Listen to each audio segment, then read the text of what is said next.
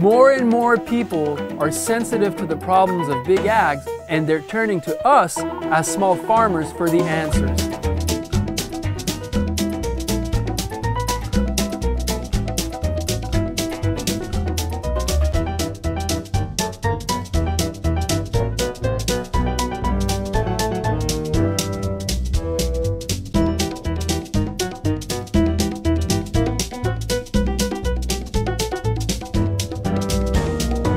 All of the tools that we use on the farm are low tech, most of them are hand tools.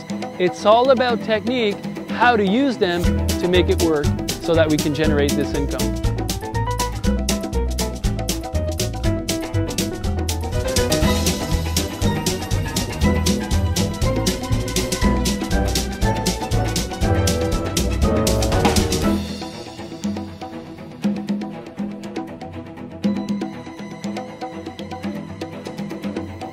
There's never been a better time to get into farming. Our world needs more farmers. We need to replace mass production with production by the mass.